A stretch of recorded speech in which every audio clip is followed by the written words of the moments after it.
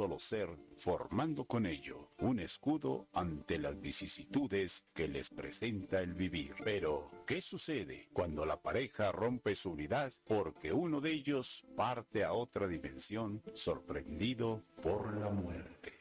Comparte tu experiencia de manera anónima a través de un mensaje de voz en el tema de la viudez dentro de este programa con la licenciada Carolina O'Farrill, su audiencia e invitados. Y encuentra con nosotros una respuesta a las preguntas que te haces y a la problemática que enfrentas para sanar tu alma y espíritu y así poder continuar con tu vida. Adelante, Caro. Te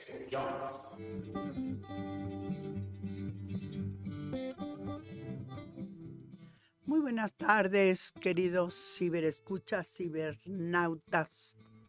Soy Carolina Ofarril Tapia, soy viuda desde el 2020 y al percibir en carne propia cómo las mujeres viudas en México y en el mundo son invisibles en las estadísticas, están desatendidas por las autoridades de los tres niveles de gobierno y son ignoradas en las organizaciones de la sociedad civil, nos decidimos un grupo de amigas y amigos llevar a cabo este programa que ya suma eh, casi un año, el día, ¿qué te dije? 11. 11, el día 11 ya este, cumplimos un año. Sí, pasó volando entre pandemia Sí, y todo lo demás. sí, qué horror, ¿verdad? Bueno, pues em, les comentábamos que nuestro programa se llama Viudas con un deseo y hoy nos acompañan Richard Águila, que siempre está Javier con... Águila.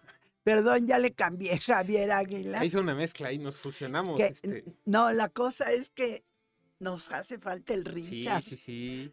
Richard es el que no va a venir ahora, Camila, y está con nosotros Olga Be- Basilio. Hay una gente que se apellida Belaus Tarán y siempre confundo el apellido. Bienvenidos, ¿eh? Y, y estamos eh, tratando y recordarles a ustedes que nos encontramos los martes de 12 a 1 a través de ANSUS Multimedios y eh, pueden ustedes enviarnos algún mensaje por WhatsApp 22 21 20 81 65 o al email ansusmultimedios.gmail.com Ujú. o a carofias 2014 Arroba gmail gmail.com. punto com. Bueno, pues el día de hoy, fíjense que cuando empezamos a hablar de las viudas, necesariamente tenemos que hablar de las diferentes edades en las que puedes quedar viuda. Pero evidentemente casi hasta donde tenemos estas estadísticas, la mayoría de las viudas quedan viudas ya mayores de 60 años. Aunque hay algunas muy jóvenes, etcétera, pero en general son mayores de 60 años. Y lo mismo sucede con los eh, varones, ¿no? Aunque eh, vamos a platicarles a ustedes cómo los porcentajes de viudas son mayores que las de viudos. Sí, sí, sí, así es. O sea, los señores se mueren antes. Sí, así es. Y fíjate que, bueno, me gustaría hacer un comentario rápido. Sí, y, claro. Y, y de esto que tú mencionas, entre pues todo lo que son pues cifras, como tal, números, eh, y, no sé, muestreos de población, etc, etc, etc, pues tenemos que tomar en cuenta que el tiempo no avanza, ¿no? Y que pues como tal, pues, eh, pues, sí, seguimos envejeciendo, ¿no? Y pues de la mano de esto, eh, yo creo que uno de los puntos que pues, recordábamos antes de entrar alegre cuando veníamos subiendo, este, cuando abordabas más estos temas, yo me acuerdo bastante, pues este, me tocó estar detrás de cámara más de una ocasión, muchísimas ocasiones. Entonces, este, pues yo creo que de lo que siempre hacías mención era uno de la movilidad, ¿no? Y yo por ahí en ese entonces escuchaba una crítica muy marcada hacia muchos espacios públicos en la ciudad, que pues, no, no, no eran inclusivos con... Sí, hay las barreras arquitectónicas las barreras que arquitectónicas. costan, ¿no? Exactamente, así es. Me acordaba, ahora, ahora sí que haciendo el paréntesis, me acordé mucho de ese, de ese punto en, en específico porque pues a todos nos toca salir en algún momento o, a- eh, por ejemplo, yo casi siempre a la semana ando por el centro. Ay, sí, está horrible el, Sí, sí, el- sí. los- el piso. Exactamente, entonces te encuentras estos pequeños, este, vamos a decirlo así, detalles que cuando sabes hasta dónde pueden llegar a perjudicar a una persona, es que ya como que los piensas un poco, pero si nadie, vamos a decirlo de esta manera, te lo informa o te lo dice, pues tú pasas sin ver, ¿no? Bueno, mira, por ejemplo, qué bueno que tocaste esto y nosotros vamos a hablar, por ejemplo, de la valorización del rol y la contribución de las personas mayores al desarrollo de la comunidad. Sí, sí, sí, claro. Pero sí. de repente se piensa solamente en lo que hicieron y eso a veces, ¿eh? Sí, sí, sí. porque es. ahora ya no hacen caso de eso, ¿no? Y olvidamos la situación de vulnerabilidad a la que queda sujeto conforme pasan los años, aunque ahora está peor porque ahora este, envejecen hasta, o sea, se mueren más de 100 años, ¿no? Sí, yo tengo dos compañeras de las que organizamos las viudas del deseo. Una de ellas tiene 80 años, sigue manejando, va por sus nietos a la escuela, los lleva a la casa, ¿no? O sea, todavía es este autosuficiente. Sí, sí, vive con esa- con sola, ese término, ¿no? Sí, vive sola, etcétera, ¿no? Y, y este, pero aquí hablaremos de algunas otras cosas, ¿no? Ok. y, y, este, pero de, de lo que estabas diciendo de las barreras arquitectónicas en la ciudad son terribles. Y en todos lados, mira, la Comisión de Derechos Humanos de Puebla sí, está prácticamente ubicada de tal forma que si llega una persona adulta mayor o discapacitada, no puede hacer una queja. Porque la escalera es enorme para subir a dar la queja y es un es una casona antigua muy bonita que está en la calle de Cinco Poniente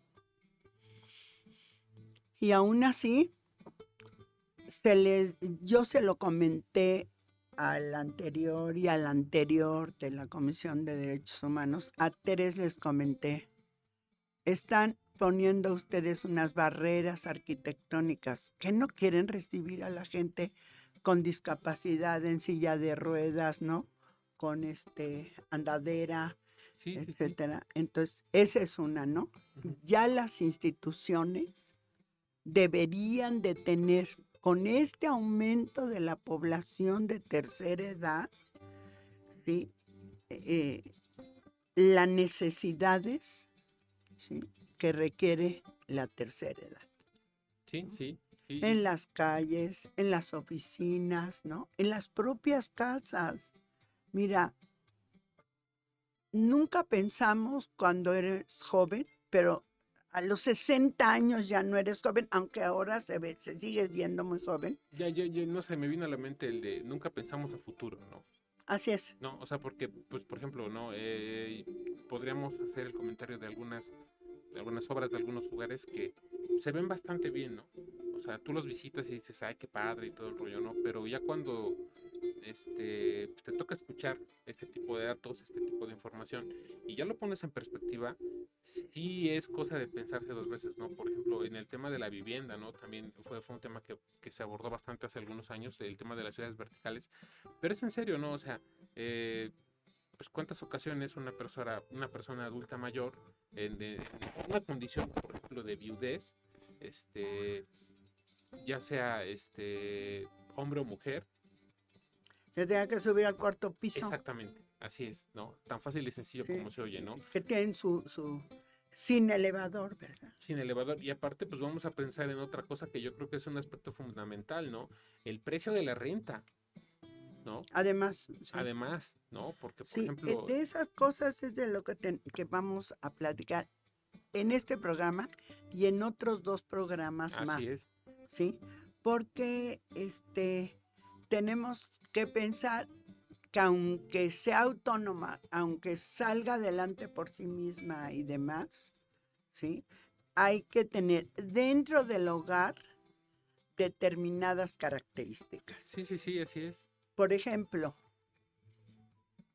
tapetes en los baños Para no resbalarse. para que no se resbalen, ¿sí? Así es. Si tú analizas el número de Accidentes. fracturas Sí, sí, sí, sí, eso lo he que se dan es en los baños. ¿verdad? Y, y, por ejemplo, rápidamente un comentario. Hace algún tiempo me acordé ahorita de, de que platicábamos eh, hace ya muchos años sobre el tema de la discapacidad y hablábamos de discapacidades adquiridas. Ahorita que mencionas el tema de los accidentes, por ejemplo, si alguno, si, si alguna de las personas que nos escucha como deportistas en algún momento han tenido alguna lesión y han tenido que usar muletas, bastón o hasta estar en silla de ruedas o incluso pues en la cama como tal, saben lo difícil que es pues, mo- este, pues moverse a través de la casa, ¿no? Ahora sí que hablando de deportes, un saludo a Omeciguatl, Ometecutli que nos está escuchando. Hola, hola, saluditos a todos, un gusto volver a verlos, ¿no? Y nos manda ahí un saludín. Ay, Ajá. Muchas gracias. Y ella ¿eh? pues ha sido, eh, ella pues en algún momento en una plática que tuve con ella me dijo pues es que ella fue deportista, ¿no? Y ahorita me acordé mucho de eso, ¿no? Porque si en algún momento hemos tenido el desinfortunio de tener alguna lesión,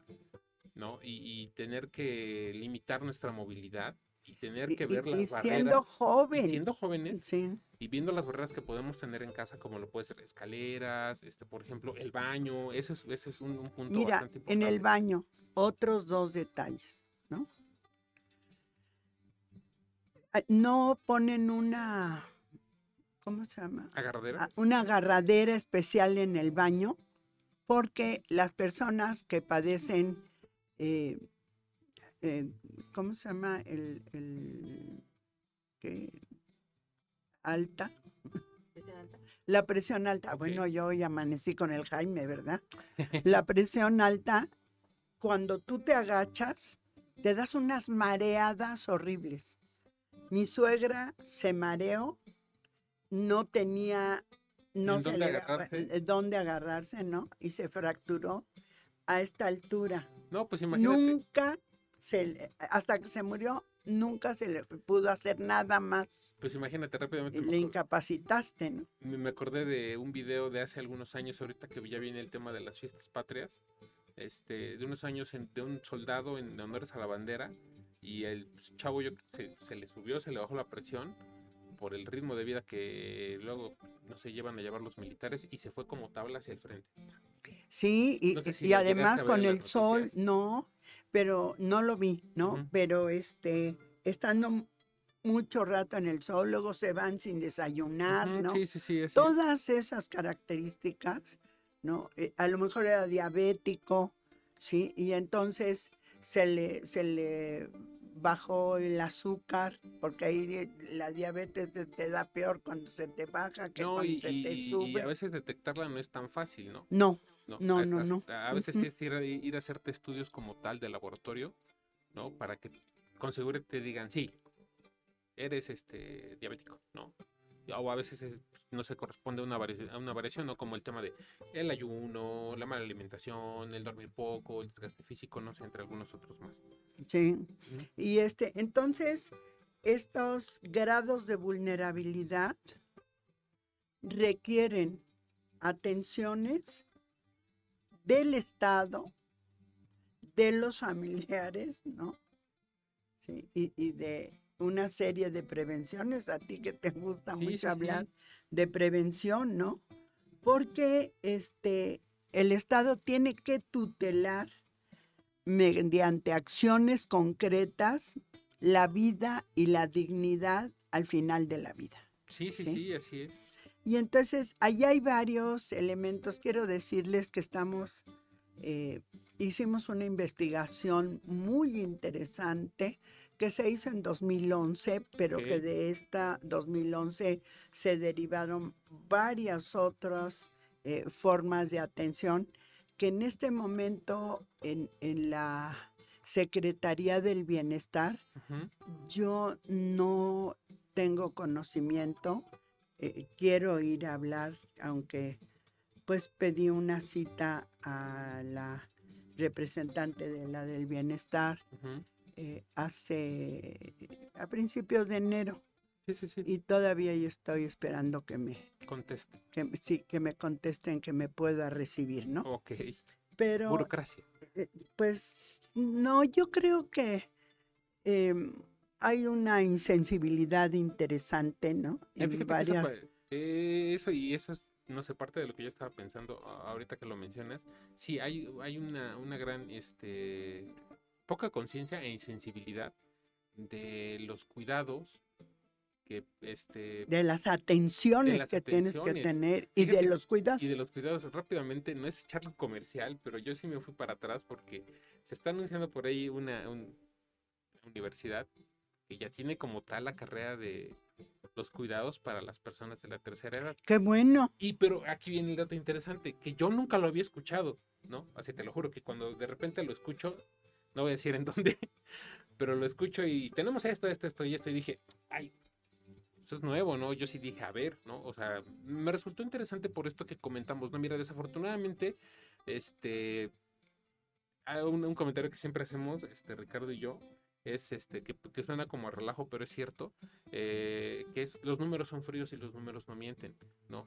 Si ahorita las cifras del INEGI nos están reflejando esto que dices, el aumento eh, de la población adulta mayor, No, y aparte el aumento de vida, de años de vida. Exactamente, Y aparte de eso, este, con todo el tema de la medicina moderna, pues yo creo que simple y sencillamente no se está, no se está pensando sí, a futuro, ¿no? En, en lo que va a venir, en la cantidad de personas que van a requerir determinadas atenciones, en la, eh, en- en la cantidad de servicios que se van a tener que integrar al- a- o que se van a tener que mejorar o agrandar en el tema del servicio, de- del- de- del tema de salud, ¿no?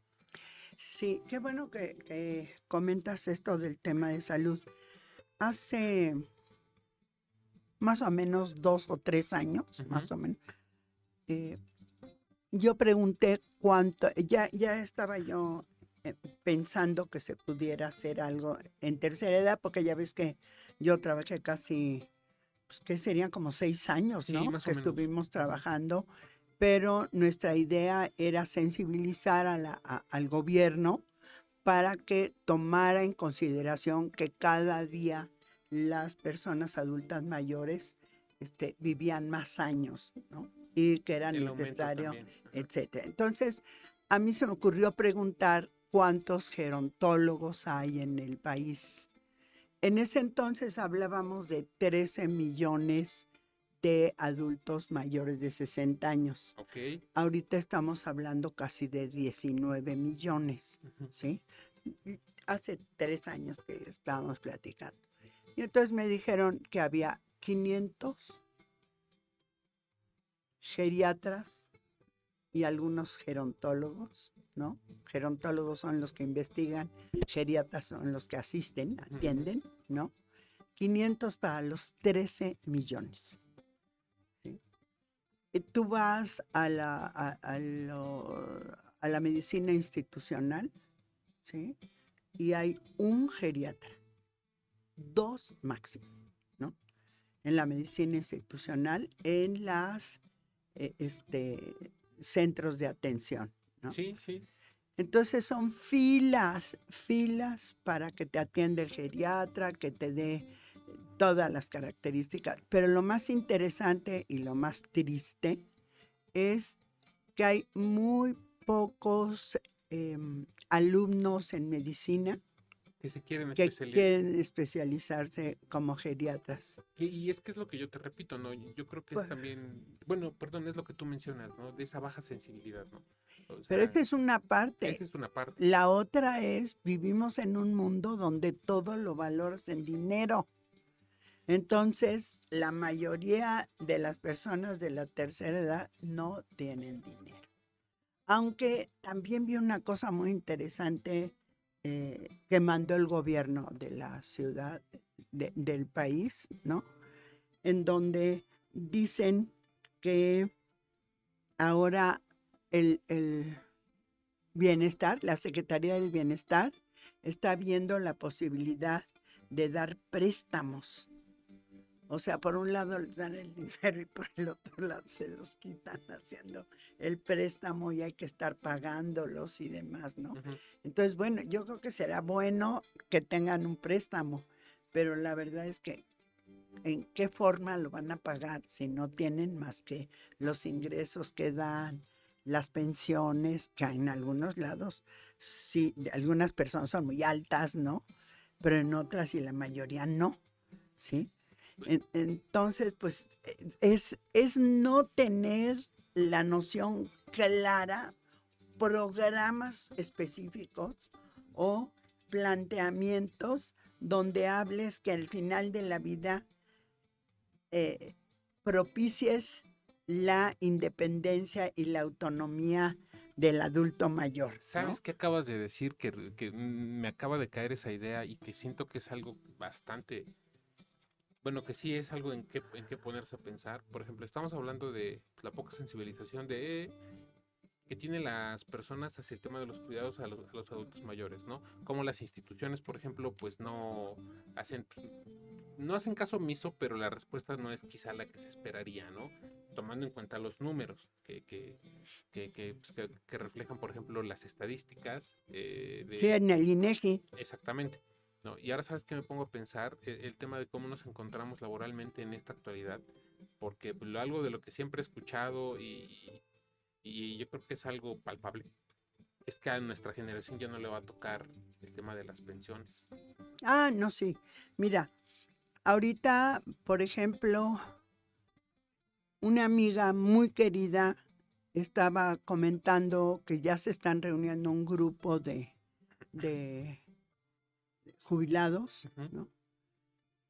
Porque hay una, bueno, no es de este sexenio, sino del anterior. Yo platiqué con mi hijo y me dijo, no, mamá, esto se, se implementó desde hace quién sabe cuánto, ¿no? Con una medida, no sé cómo se llama, no me acuerdo, pero, por ejemplo, casi todo se, eh, eh, se evaluaba en función del eh, pago mínimo, ¿sí? De cuánto el, te pagaba lo mínimo. Ahorita el pago mínimo está en ciento y tantos, ¿no? Más o menos, ¿no? Sí, sí, Y este, y esa nueva mecánica valor, ah, no, ese nuevo valor que se le da a la moneda está sobre 90 pesos. Entonces, lo que me decía esta amiga es que eso lo están aplicando a las pensiones. Entonces, si antes recibías sobre tantos este, números de salario mínimo, ¿sí? De 130, no. Si te hacen la, el avalúo con el otro, vas a recibir nada más 90. Entonces que ya se están reuniendo varios este, personas. Pero esto es porque no hay un programa global especial para adultos mayores. Sí, no lo hay. Si ahora viven más, hay que apoyarlos en su independencia y autonomía, ¿sí? No solamente física, sino económica, ¿no? Eh, la integridad física, esa es otra, ¿no? Patrimonial, mental y emocional. Fíjate que... Esas cuatro son terribles. ¿no? Sí, sí, sí, porque involucran pues, ahora sí que involucran... La integridad física, por ejemplo. Ajá, pero la... Lo que decías de la patrimonial. Lo patrimonial, sí. Porque, por ejemplo, este... Todo eso involucra una serie de trámites que muchas ocasiones, vamos a decirlo así, salen de nuestro conocimiento. No, o sea, es algo muy sencillo. A veces hay que ir a determinadas este, instancias, instancias y hacer determinados trámites que obviamente llevan tiempo, este, también esfuerzo, dinero, eh, tiempo, dinero y esfuerzo, ¿no? Y que en muchas ocasiones no sabemos cómo llevar a cabo. Yo, yo siempre he sido una, persona que piensa que, que, también uno de los grandes, uno, de, una de las grandes este, barreras y obstáculos que tiene el, el buen funcionamiento de, de una institución. De una institución o de un programa como tal, es que no sabemos cómo, cómo aprovecharlo, ¿no? Yo en algún momento... O sea, te estás refiriendo a la población en general. Sí, porque por ejemplo, ¿cuántas personas, o sea, es más, así de fácil y sencillo. Yo recientemente saqué mi INE, No, afortunadamente soy una persona que cuida muy bien las cosas, entonces me duró bastante la, la, la IFE, ¿no? Me duró el tiempo que me tenía que durar hasta que la fecha de la, de la credencial decía expiraba. sí, hasta ahí. Ya hasta ahí la tengo que cambiar, que fue recientemente. Entonces, cuando yo la tengo que cambiar, pues yo no, yo no sabía ni cómo se hacía, ¿no? Ya tuve que preguntar, investigar, ¿no? Y sabía para todos, ¿no? O sea, desde hacerlo por internet, llamar, oír, formarte y esperar que te dieran un turno, pero pues, es demasiado tiempo. A lo que yo voy es que... Pues quién sabe si es demasiado tiempo, porque depende, primero, si tú tienes este, tu celular o internet. Ah, no, no, pero sí a lo que voy es cuántas personas en verdad tienen la paciencia, cuántos tenemos la paciencia para poder ir a desarrollar trámites de forma correcta. Pero no, solamente es paciencia. Primero, conocimientos. Después, ¿qué tiempo implica eso? Exactamente. Para hacerlo. El tiempo también es fundamental. Cuarto, tercero, perdón. ¿Qué papeles tienes que llevar? ¿Cuáles son los documentos que tienes que llevar? Luego por fin ya llevaste los documentos, ¿no? Y te dicen, ay, trae sus copias. Oiga, pues nunca me dijeron. Es que, es que ahí estaba en el, en, el internet. En el en el papel, sí. No, en el, internet. O en el, internet, en el correo. O, eh, sí, que quieres ver en el correo, ¿no? Y te metes y todo muy bonito y todo el rollo, ¿no? no este, no se pudo hacer su trámite porque nosotros trabajamos hasta las 2 de la tarde. Te dan ganas de pegarle a la computadora. Pues sí, es que, eh, es que te digo, son, son, son, son, son varios, son varios aspectos como este que estamos comentando, que desde lo complicado que llega a ser un trámite, los horarios, no, la forma de trato. La forma de trato. Cuando estamos hablando de, este, tercera edad. De tercera edad, exactamente. De las viudas o los viudos, que es terrible dar de baja. O bueno. y, esto eso, por ejemplo, ahorita estamos hablando de trámites pues bastante básicos, ¿no? Como lo puede ser ir a traer una licencia de conducir, una credencial es una identificación oficial, a lo mejor un pasaporte, un pasaporte ya tiene un grado un poco más de dificultad, dicho de esa manera, este, pero por ejemplo, ya cuando son el tema patrimonial, ¿no? checar temas de, no sé, de propiedades, el, trámite, lo que cuesta. El abuso, el abuso, que hay, este, y hasta eso sin cuando... y hasta eso sin contar, yo estaba viendo una noticia en la mañana rápidamente, antes de que se me vaya el hilo, una noticia en la mañana de, de pues, un, un empresario que desafortunadamente salió por la puerta falsa porque defraudó a mucha gente y, la cantidad que ella debía era demasiada y tenía una cola enorme de personas que se estaban quejando porque habían invertido su patrimonio. Este Ay, bueno, a mí me pasó. Sí, sí, sí, exactamente. Pero lo que voy es eso, ¿no? El abuso, como lo acabas Se llevaron un millón cuatrocientos mil pesos de lo que ahorramos Sergio y yo. Así es, entonces te digo, bien Ya son dos años. El abuso, ¿no? Eh, eh, el abuso, y este, por ejemplo. Y huyeron este caso que te estoy diciendo en la mañana es, uno de estos que en México yo creo que no son únicos. Cada estado va a tener sus cifras particulares. Eh, este, pero es esto, ¿no? Lo que, eh, a lo que voy con, todo esto que estamos comentando es, como tú lo decías, el abuso de personas por el poco conocimiento de, por, este, ¿cómo se llama? Eh, no, ¿y por qué? Porque luego te dicen, este, ayer me pasó, me dice, le dije, señorita, tengo casi 15 años con su institución y lo que quiero es hacer una cancelación ahorita, ¿no? Siempre me han tratado muy bien, ¿por qué ahorita me dice esto? No, pues sí, es que usted nunca había cancelado. Pues eso le da a usted una garantía de que yo soy una gente que, este... Confiable para... Confiable, ¿no? El tema y entonces me dijo, pues sí, si usted cancela, va a tener que seguir pagando lo que está cancelando.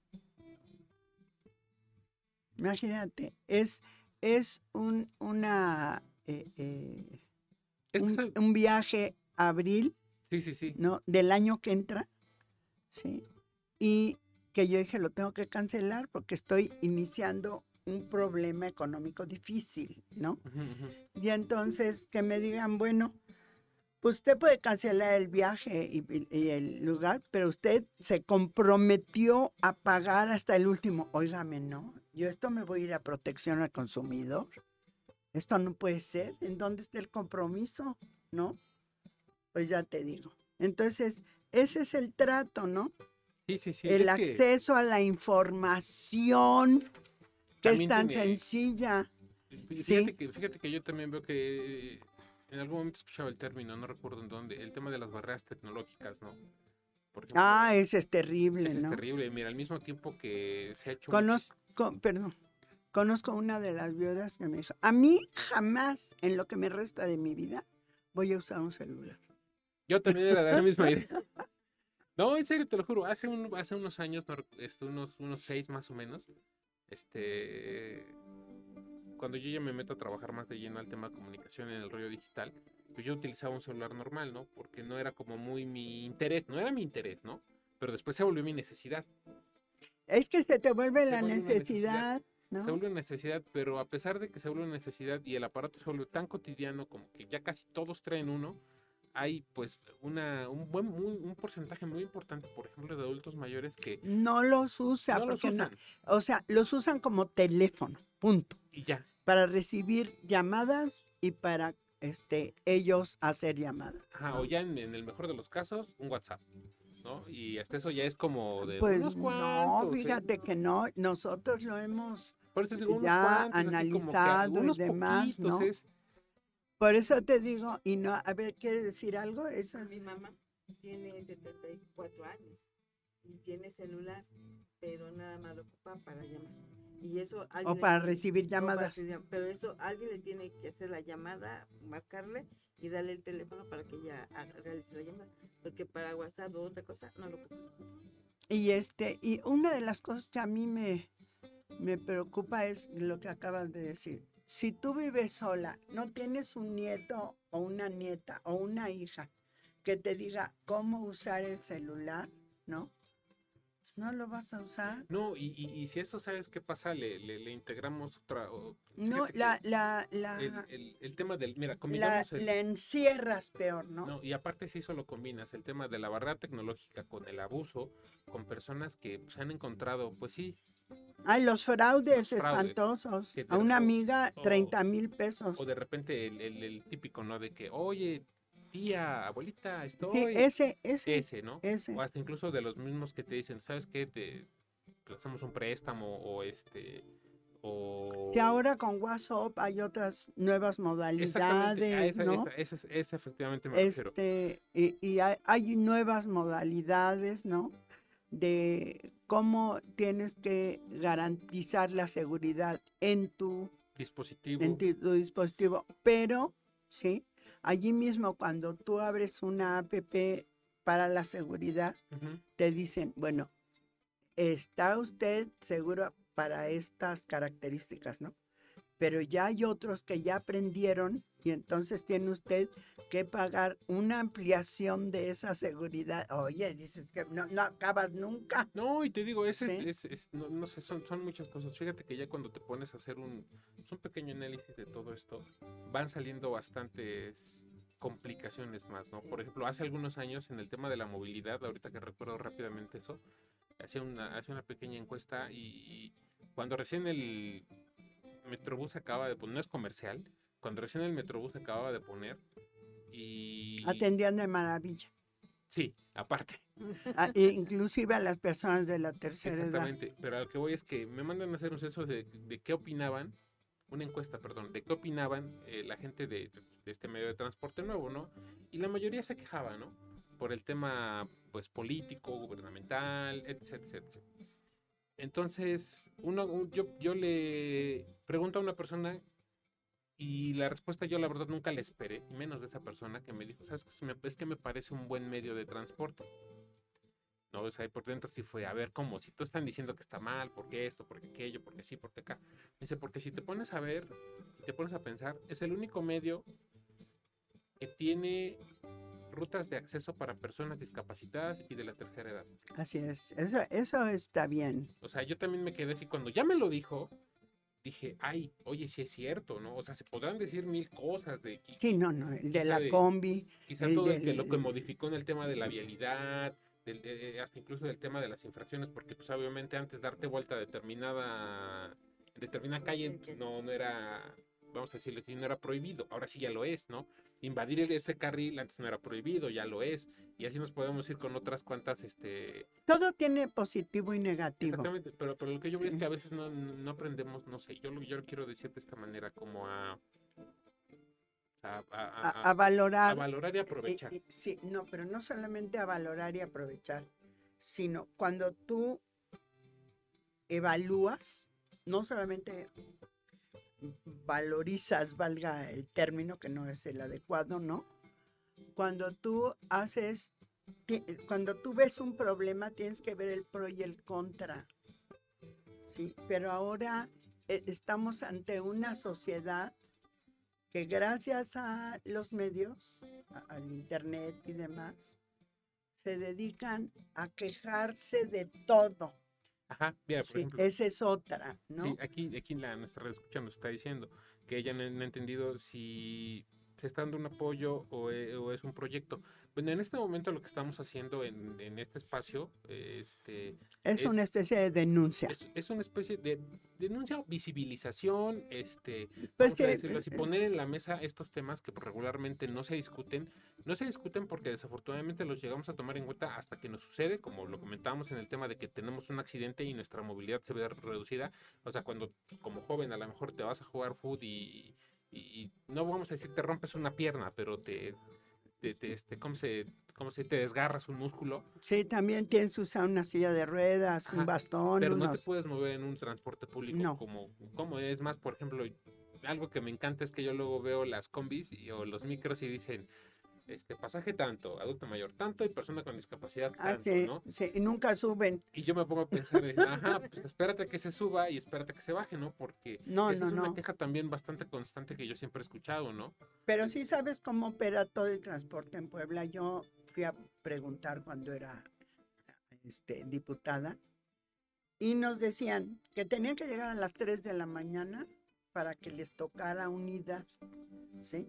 Ya cuando les tocaba la unidad, tenían que traer una cantidad de dinero, ¿sí?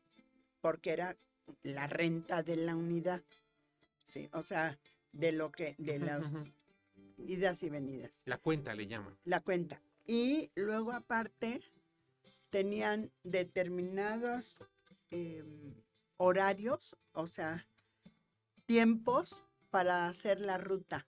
Sí, sí, sí, así es. Entonces, si, si te dan el, la ru- el- el tiempo del recorrido y te, Se pasan o se te atrasan, pasan o se re- les no, cobran. les cobran, ¿no? Entonces, eso es una total insensibilidad de a quién estás este, atendiendo, ¿no? Sí, sí, sí, así es. Y bueno, Y contestando. la verdad es que son concesionarios, ¿no? Sí, sí, sí. Ahora, nosotros no vamos a salir a convocar un movimiento a favor sí, de sí, la tercera edad, ¿no? En este programa no es esa la idea. Así es. La idea es hacer conciencia, sensibilizar, De que todo Sí. esto, se- de, de todo, que se tiene que tomar decisiones así es. este, de la sociedad, de las familias, Ujú, así es. ¿sí? de los gobiernos, de los concesionarios Sí, para poder atender estas necesidades. para atender a esta población que cada día es más grande, pero que todavía eh, eh, puede tener cierta autonomía de vida, ¿sí? O sea, pero hay que apoyarlos en esa autonomía Sí, sí, sí. para que es. vivan solos, ¿no? Etcétera. Hay que buscar su privacidad, ¿sí? Y su intimidad, no que bueno, pues ya, ya se murió el, el- el papá y se quedó la abuelita. Pues ahí cambien la de la casa que se quede en la recámara con uno de los nietos, ¿no? Y la casa era de ella. Sí, ¿sí? sí, sí. Entonces, eso, eso es una cosa terrible, pero además se ve como cotidiano. Sí, y aquí, Sí. no, y aquí yo quiero rápidamente el comentario y es, aunque no lo crean, pues a todos nos va a llegar esa, esa edad, así por muy, muy, muy sea lo que seamos, este, en cualquier este, actividad que nos desenvolvemos o desempeñamos, el tiempo no deja de correr, ¿no? Y pensar en estas, y pensar en este tipo de problemáticas a futuro, nos No. puede generar beneficios para poder tener mejores, sí. mejores espacios públicos para donde poder desenvolvernos, ya y sea sin tomarlos en cuenta para los que en este momento están viviendo esta edad, porque tú no buscas vivir esta edad, lo que, Ella te busca.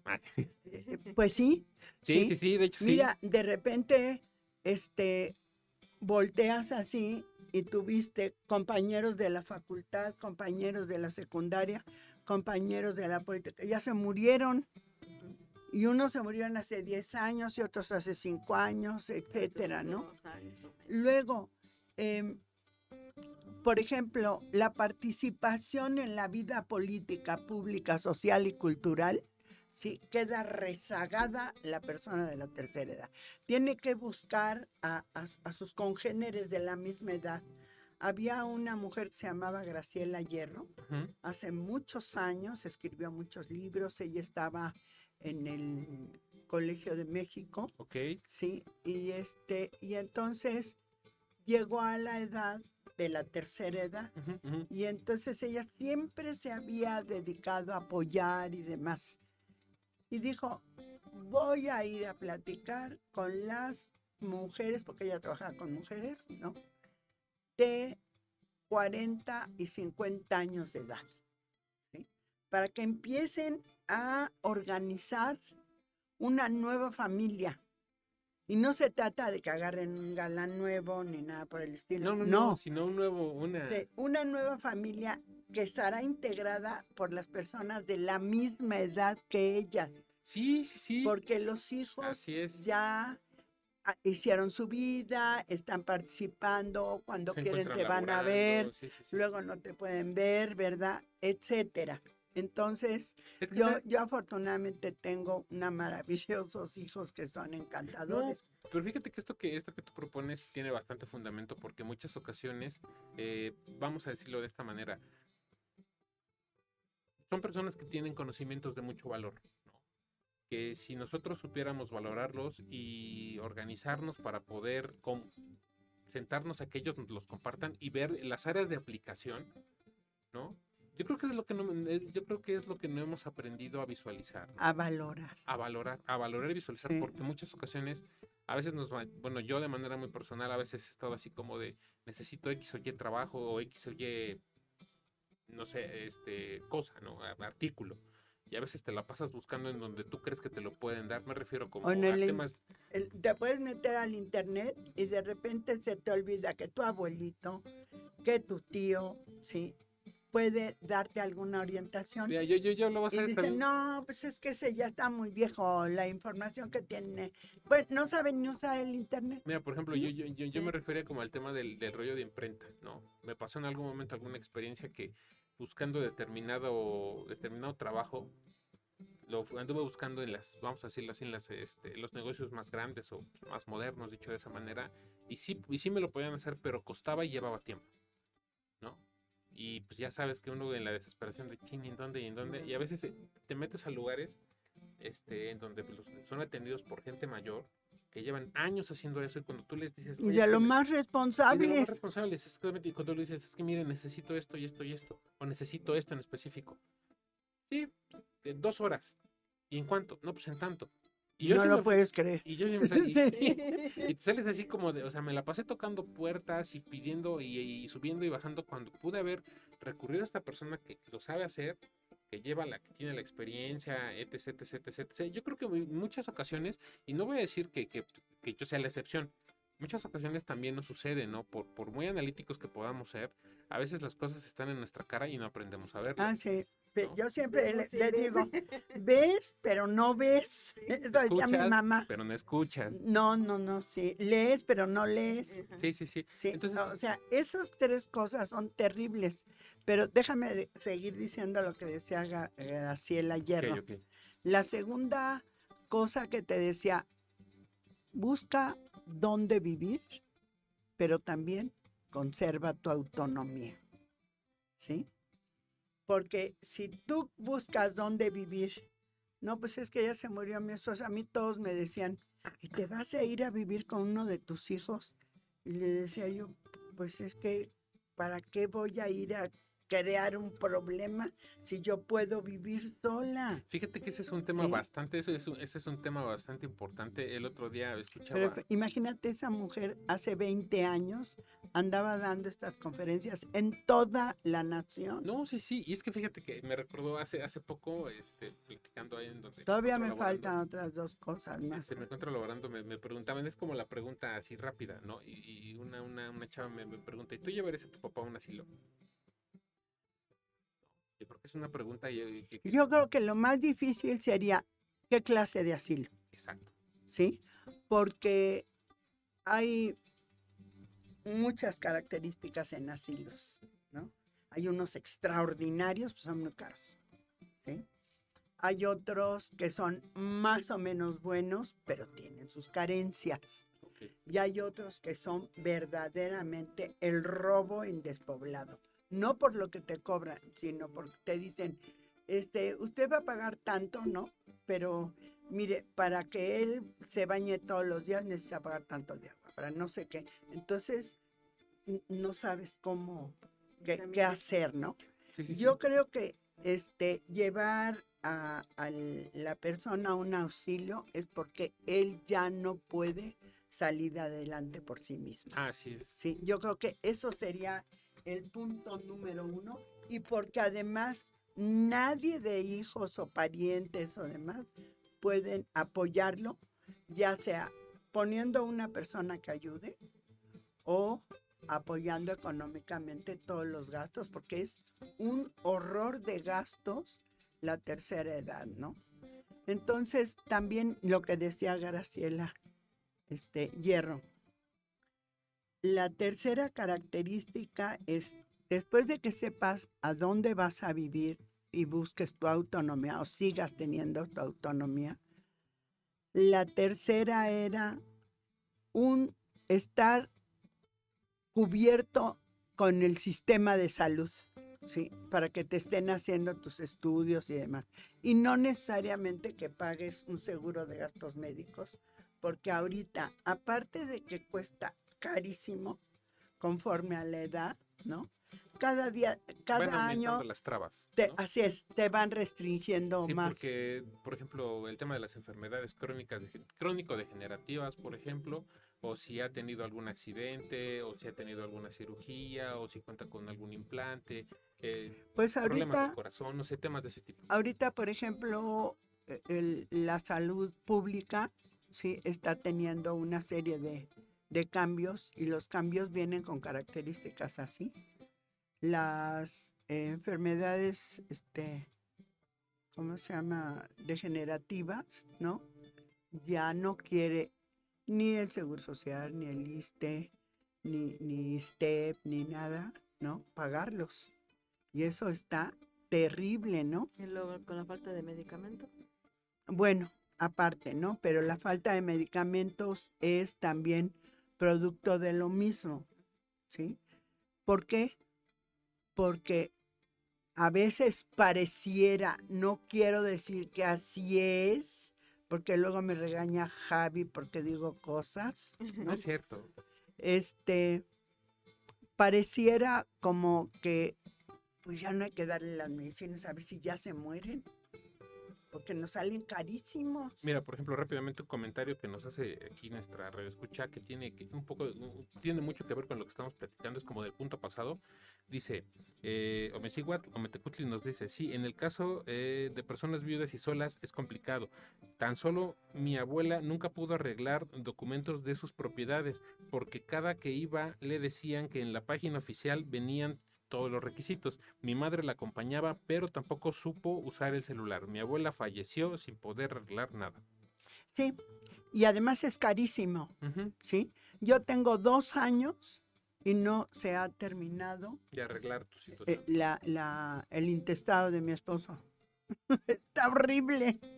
Y cada vez que primero se nos pasó, se nos, nos surgió COVID. Entonces se paralizó todo. Después, porque los iba ya, estaban terminando su periodo los presidentes Entonces municipales estaban este, pasando la Y- batuta, ¿no? eh, no, y estaban, estaban paralizadas todos los Ah, ya, sí, trámites. sí, sí, sí, sí. ¿sí? O sea, nadie quería tomar, o sea, las decisiones porque pues ya estaban terminando y luego con esta psicosis de que a lo mejor se robaban y no se robaban y que no sé qué, ¿no? Luego la tercera, te estoy hablando de las limitaciones que en mi caso sigo viviendo, ¿no? La tercera fue, ¿sí? Que acababan de tomar posesión los presidentes municipales. Y ¿no? pues Y entonces no podían todavía este, conocer qué eran los trámites que se tenían que hacer en las notarías y cómo estaban. Algunos sí sabían, otros no. Sí, pero eh, mientras te lo platico, se echaron casi medio año. Sí, me ¿no? imagino, me imagino. Y entonces, luego, la tercera, los avalúos, con una modificación del artículo 115 constitucional,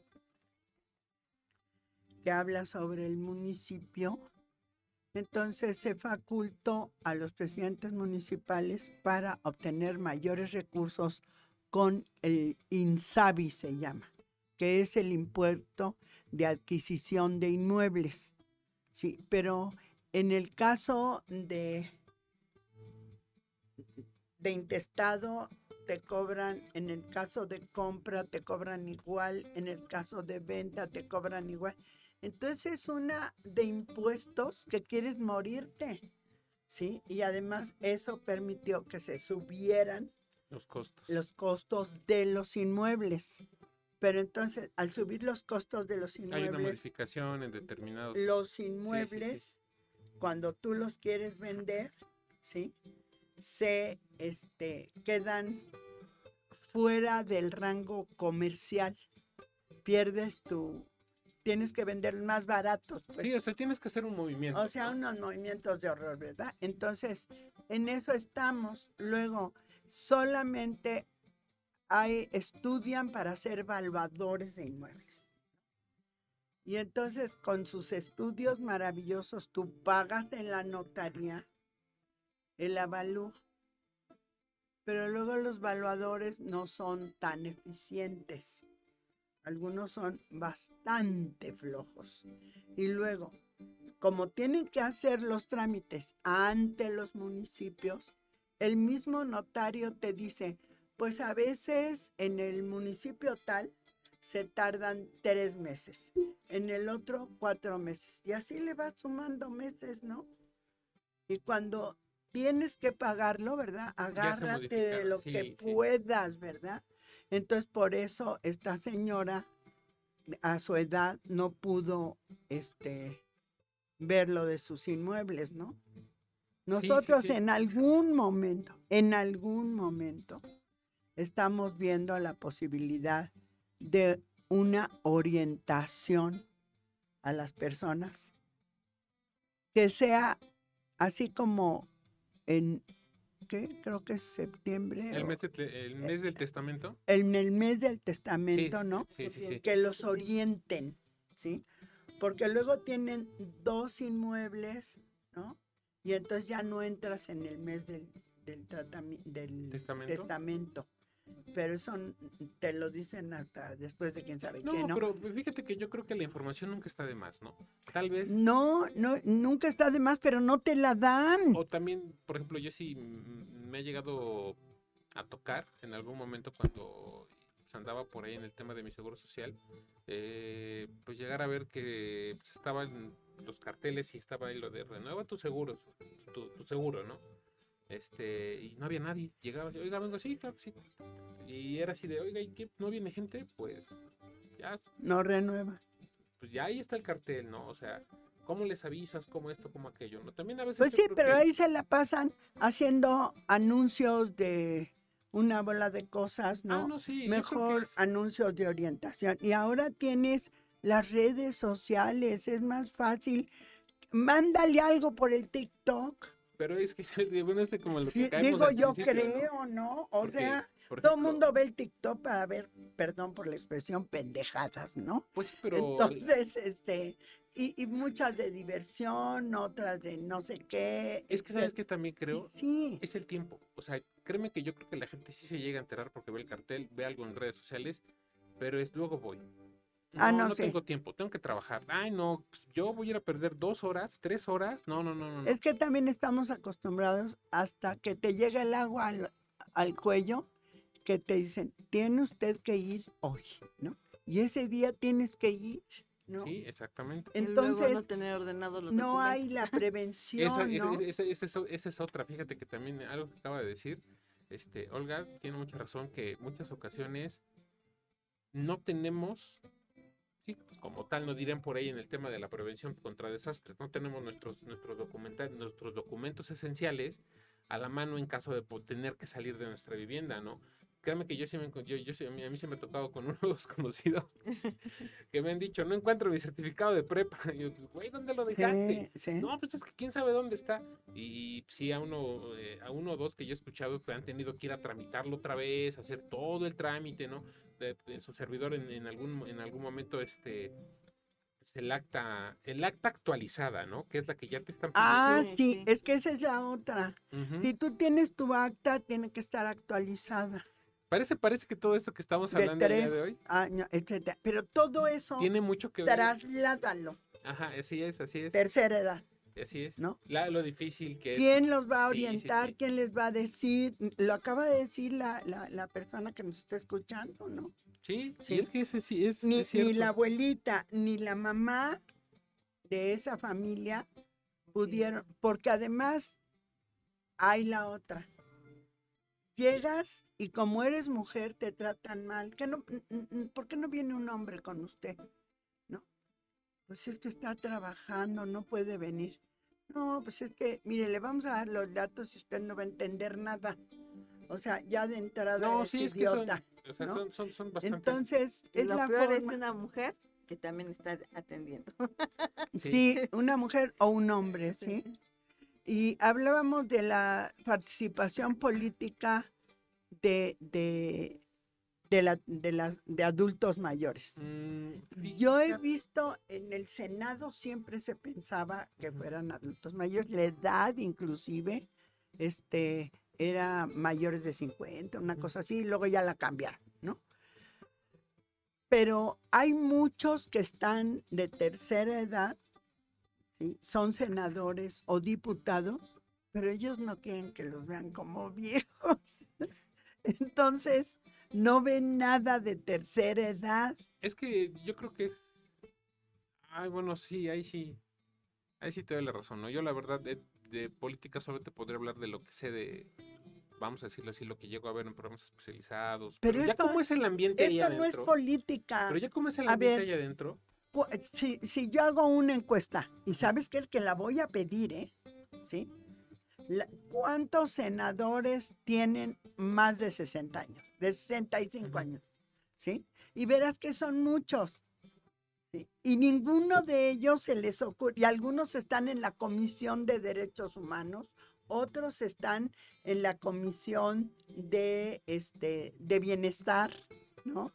Y no se les ocurre hacer una lectura de lo que pase alrededor de, los, de las personas adultos mayores. Mm, por ejemplo, yo lo único que te podría decir es que al, menos lo que yo puedo percibir desde, desde mi punto de vista es eh, el hecho de que un tema de ese tipo se trabaje es porque ya hay un- una inconformidad de parte de varios sectores que están exigiendo y están pidiendo que se trabaje sobre el tema o que como tal Pero es que el se que... tome la que como tal la persona dentro de tome la iniciativa, pero la pregunta es cómo llegas a hacer que esa persona tome esa iniciativa. Para mí, para mí desde un punto de vista muy personal es Pues porque se vean en el espejo. El que por otro pide, por si aboga. Sí, nada más que se vean en el espejo. Tienen arrugas, aunque se las hayan operado, les pongan votos o lo que tú quieras, ¿no? Pero van y ven quién sabe cuántas cosas, pero no se les ocurre ver de la tercera edad. Y luego, Pues si a la yo- hora de la hora tenemos una discriminación múltiple, Sí, ya vamos a hablar en el próximo programa de una serie de... Ay, un minuto. No, no se vale, ¿eh? Pero bueno, me hubieras avisado sin guantes. Nos sobra un minuto, pero yo quiero decir que la discriminación múltiple en la tercera edad es terrible, ¿sí? Porque el porcentaje más alto de, son mujeres las, las que son adultos mayores. Hay indígenas que son maravillosas, siguen yendo a llevarle la comida al jornalero, a los hijos, a no sé qué, siguen sembrando, siguen trabajando la, la tienda, etcétera. Los grupos étnicos, raciales, nacionales, lingüísticos, re- religiosos y rurales. Todo eso es una discriminación múltiple. Imagínate un adulto mayor, ¿sí? Que no habla español. Y eso nada más como último ejemplo. Y luego, las diversas orientaciones sexuales e identidades de género. Casi siempre ves la- las lésbico, gay, etc. No me puedo comprender todo el, el- ¿Acrónimo? sí, el acrónimo, ¿sí? Pero siempre piensas en jóvenes, ¿sí? Porque los viejitos, pues los Mira, ves como degenerados, Pues, ¿no? por ejemplo, yo, pues yo, no, son personas que su vida fueron yo, yo, yo creo que gays, homosexuales y demás, Simple ¿no? y sencillamente, bueno, yo tengo un comentario final y es, yo siento que este tipo de temas deben estar eh, pues, en la mesa, ¿no? Claro. de- desafortunadamente nos, nos topamos con algo que es real, es crudo, es que durante cuánto tiempo desafortunadamente se llega a hablar de X tema, ¿no? Por ejemplo, reforestación, cuidado del medio ambiente, durante cuánto tiempo hay campañas. Después estas campañas simple y sencillamente terminan o terminan los gobiernos que las promueven. No, es que hacen, hacen programas. ¿sí? Pero no políticas de Estado. No, no, no, no, no. Eso es exactamente, diferente. Pero lo que yo voy es de parte desde, bueno, desde yo, como yo lo veo, ¿no? Desde mi papel como sociedad civil, como persona integrante de la sociedad civil, este, yo creo que mantener vigente el tema siempre sería como lo más adecuado. Yo de manera muy personal, este, tengo un espacio también y, en esta, a pesar de que hablo de temas variados como lo es arte, cultura, este, no sé, cine, a lo mejor hasta en algún momento temas de derecho, medicina y demás, trato de darle un espacio a lo que es el tema de prevención, eh, motivar a que la gente esté informada, que sepa, que, se- que, que visite las fuentes oficiales, ¿no? Que se, me hace la, que, se me la mejor herramienta, ¿no? Entonces yo creo que la vigencia de un tema siempre eh, va a reflejar eh, un, un despertar De la conciencia. de la conciencia, desafortunadamente no a la velocidad que nosotros esperáramos. No, ya lo sé. Mira, cuando yo empecé a hablar de violencia en la familia, ¿sí? Me balacearon la casa. ¿Sí? Y ahorita es un tema recurrente, ¿no? Te estoy hablando hace 20 años. ¿sí? Entonces, yo sé que no es tan rápido, pero en el caso de la tercera edad, o se toman decisiones, o no sé qué va a pasar en nuestros países. Es que ¿sí? esa es la parte más. Ese es el problema. Esa es la parte más. Y este, no se trata de que estemos hablando mal políticamente, no. ¿sí? Estamos buscando la conciencia no, sí, de las personas que, más cercanas, ¿no? Sí, no sé, sí, exactamente. Y es exactamente al punto al que voy. Por ejemplo, yo, yo, yo, desde mi punto de vista como comunicólogo, yo te podría decir que hay ciertas cosas que han perdurado y, han sobrepasado la- las barreras generacionales que tanto como el abuelo, la mamá, este, el hijo, el nieto, el bisnieto, los tienen, vamos a decirlo así, bien marcados, pero te estoy hablando de cosas que no tienen que ver con el bienestar social. Te estoy hablando de entretenimiento, la novela, el food. Ah, sí, Ahora, ¿cómo, sí. cómo, cómo- cómo llegamos a lograr que... que- Me que- das esto- dos minutos más, gracias. ¿Cómo llegamos a lograr, cómo, cómo llegamos a lograr que un tema se quede impregnado en la, en la mente, en la conciencia de la, de, de- de- de la gente? Repitiéndolo, Repitiéndolo, sí, sí, repitiéndolo. así es. No hay más que eso, ¿no? Entonces, tenemos que pensar en los adultos mayores, y yo con esto Sí. termino, que pueden y deben ser autosuficientes y apoyarlos para que sean. que se, dibu- que se dibuje esa imagen, ¿sí? Que son personas productivas dentro de los hogares como fuera. En todos lados vemos adultos mayores que siguen trabajando, Sí. ¿sí? Y su eh, participación y contribución en el desarrollo económico no fue solamente en los tiempos que estuvieron, sino es también hacia lo social actual y cultural de la sociedad. Sí, sí, sí. Hace muchos años que no veíamos a este, señores que iban a recoger a los nietos a la escuela. Ahora vemos a los abuelitos recogiendo a los nietos a la escuela, ¿sí? A los abuelitos cuidando a los nietos, etc. Pero a la hora de valorar a ese abuelito no lo valoriz- no lo valoran como debe de ser. Y yo creo que con esto terminamos, si me permiten, porque si no Agustín nos va a ahorcar. Muchas gracias, Agustín, por habernos dado dos minutos. Por favor, escúchenos el próximo martes de 12 a 1 de la tarde. Somos el programa de las viudas con un deseo, ser visibles. Muchas gracias.